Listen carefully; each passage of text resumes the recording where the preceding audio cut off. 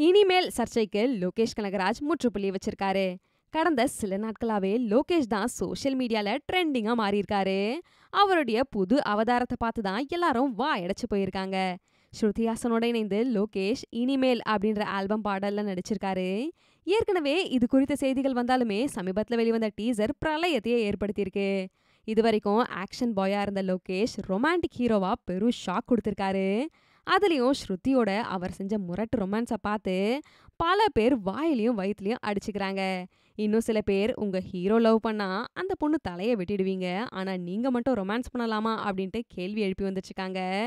இப்போ லோகேஷ் ஒரு பேட்டியில் இதுக்கு பதில் கொடுத்துருக்காரு. என்ன சொல்லியிருக்காருன்னா ஆக்ஷன் படம் அப்படின்னா அதுக்கு ஒரு டெம்ப்ளேட் இருக்கு. அங்க ரொமான்ஸை கொண்டு வர முடியாது. எனக்கு ராஜ்கமல் நிறுவனத்துல இருந்து ஃபோன் வந்தப்போ முதல்ல ஆச்சரியமா தான் இருந்துச்சு.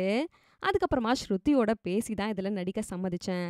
அது மட்டும் இல்லாம கமல் சார் கம்பெனிலேருந்து ஒரு விஷயம் சொல்றாங்கன்னா அதை மறுக்கும் நிலையில நான் இல்ல சும்மா ட்ரை பண்ணலான்னு தான் இதுல நடிச்சேன் அப்படின்ட்டு தெளிவுபடுத்தியிருக்காரு.